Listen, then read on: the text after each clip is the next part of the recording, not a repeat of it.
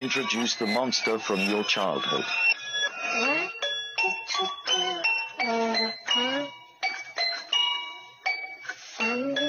do,